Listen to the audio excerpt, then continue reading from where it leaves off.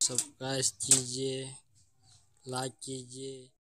यदा यदा हि धर्मस्य ग्लानिर्भवति भारत